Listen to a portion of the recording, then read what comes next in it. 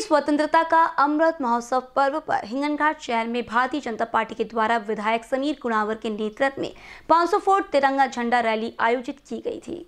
इस प्रसंग पर विधायक समीर कुणावर, इनके जनसंपर्क कार्यालय से निकली रैली ने करांजा चौक, डॉक्टर बाबा साहेब अंबेडकर चौक, नंदोरी चौक जैसे शहर के मुख्य मार्ग से मार्गक्रमण किया। ढोल ताशे गाजी बाजी के साथ निकाली गई 500 फुट तिरंगा झंडा रैली शहर के नागरिकों के लिए आकर्षण का केंद्र था।